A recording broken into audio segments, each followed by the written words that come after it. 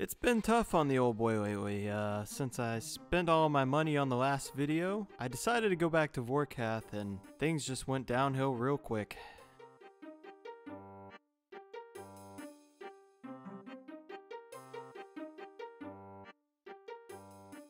It really has been tough, so uh, me and my sickly dog, we decided it was time to get our grind back on and earn that coin. It only left the man with one option. Which is to get your Mkando hammer and smash that like button for the YouTube algorithm. This is a method I like to call avoiding the man. So we're not going to pay taxes, we're going to sell outside the GE. So you want to make sure you sell your eggs outside the Grand Exchange. So before I get into the prices of how much I'm up so far on what I told you guys to buy, I think that selling your eggs outside the GE is a real possibility because for big name items, 2% is going to be a lot on the taxes. So if you have a twisted bow 2% of that sale is going to be millions of dollars. So, to beat that, people may actually go back to trading outside the Grand Exchange. Now, are you going to see volumes and volumes of people like back in the day trading along the wall? Probably not, but I do think there is a possibility that people will go back to trading outside the Grand Exchange. So let's get a little flashback going to the last video real quick. This is the items that I bought and how much I bought them for,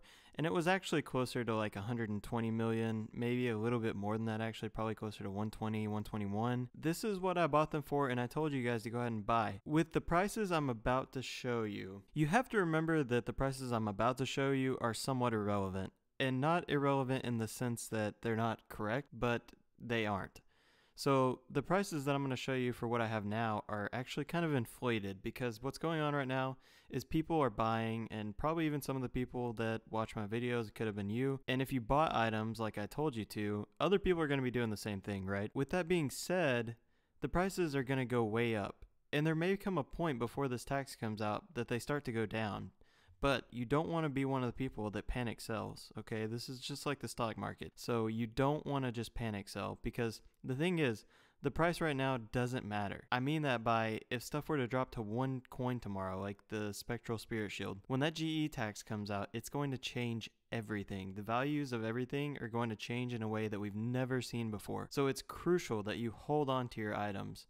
And I'm telling you, if you get them before the tax, you're not going to find them at a lower price. That's just how economics work. It's just price and demand, right? The demand is going to go up as they delete these items. You're always going to have more players come into the game unless they screw something up and people just start quitting left and right. But the thing is, this is actually going to help the economy. So if anything, the player base should be growing from this. You can see that the items that I bought were worth around 120 to 121 million.